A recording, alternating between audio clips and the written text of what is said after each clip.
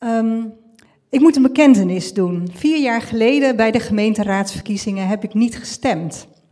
En waarom heb ik niet gestemd?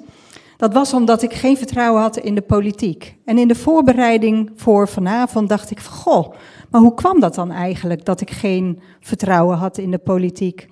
En bij mijzelf merkte ik dat het was omdat ik ook niet precies weet van waar gaat die gemeenteraad nou eigenlijk over? Wat mag die? Wat kan die? Wat doet die?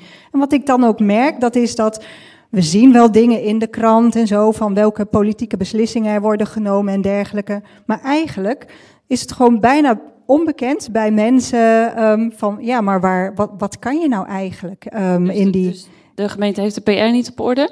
Dat denk ik. In ieder geval, he, van, er zit altijd een gedeelde verantwoordelijkheid. He, van, je hebt als uh, mens gewoon natuurlijk de verplichting om jezelf te informeren. En aan de andere kant, als je wil dat mensen betrokken worden, moet je ze ook actief opzoeken en ze informeren over de, ja, over de dingen die spelen. En ook over wat zijn nou jouw rechten en wat kan je doen.